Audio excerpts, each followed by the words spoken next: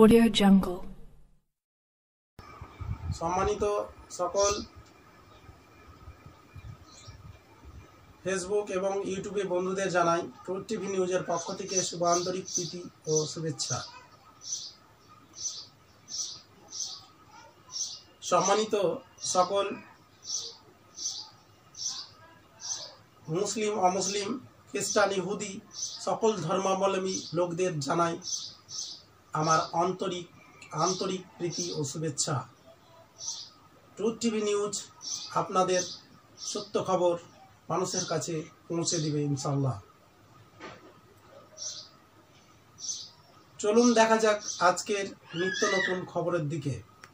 গত কালকে পনেরো পাঁচ দু হাজার কুড়ি তারিখে আমাদের চিরবিদায় জানিয়ে পরলোক গমন করলেন বহু গ্রন্থ প্রণেতা ইসলামী চিন্তাবিদ গবেষক আলিয়া বিশ্ববিদ্যালয়ের প্রাক্তন অধ্যাপক। পশ্চিমবঙ্গ জামাতে আহলে হাদিসের সভাপতি ও সম্পাদক এবং মাসিক আহলে হাদিস পত্রিকার সম্পাদক হাফিজ শেখ আইনুল বাড়ি আলিয়াবি মূলত আহলে হাদিস ভাবধারার লেখক, বক্তা হলেও সকলেরই কাছে তিনি একজন জনপ্রিয় ব্যক্তি হিসাবে পরিচিতি ছিলেন। মাওলানা আইনুল বাড়ি সাহেব রাজ্য জুড়ে জামিয়া রহমানিয়া নামক একটি বোর্ড গড়ে তুলে। সেখান থেকে শিশুদের শিক্ষায় আঙিনায় নিয়ে আসার চেষ্টা চালিয়ে যান।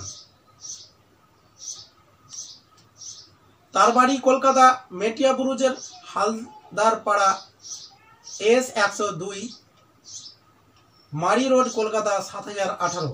তিনি দোসরা মার্চ উনিশশো পঁয়তাল্লিশ সালে জন্মগ্রহণ করেন।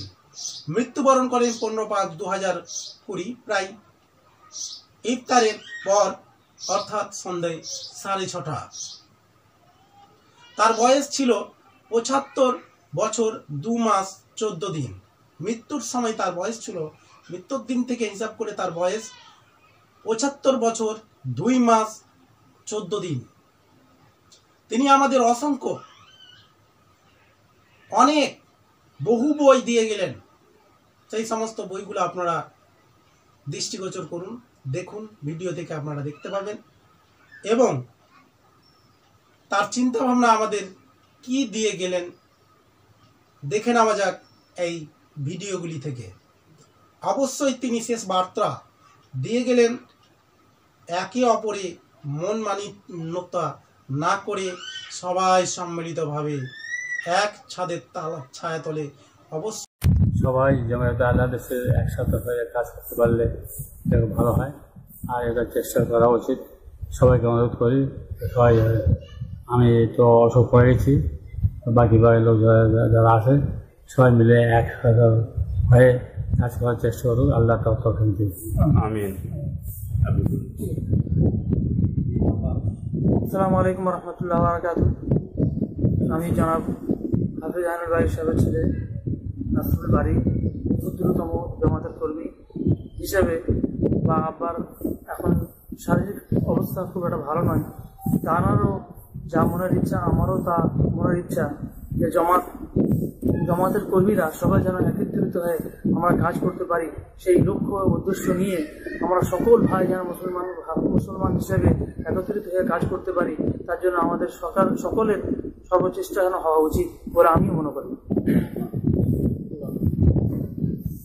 সালাম আলাইকুম রহমতুল্লাহ আজকে চার তারিখ জুন মাসের আমি মেডিয়াপুরে এসেছিলাম সাহেব সাহেব সাহেবের সাক্ষাতের জন্য তিনি অসুস্থ আমরাও চাইছি একতার বার্তা তিনি যারা দিয়েছেন সেটা গ্রহণ করতে। আমি আবামর সমস্ত স্তরের কর্মীদের কাছে অনুরোধ করছি যে বিষয়টা যারা যেন গ্রহণ করেন এবং ঐক্যবদ্ধভাবে যাতে আহলাইস আন্দোলন চারিদিকে ছড়িয়ে দেওয়া যেতে পারে সেভাবে আমরা যেন সকলে সচেষ্ট হই। আল্লাহ তালা আমাদের ঐক্যের এই প্রচেষ্টাকে যেন গ্রহণ করেন, আমরা দ্রুত ঐক্যবদ্ধ হয়ে যেন কাজ করতে পারি।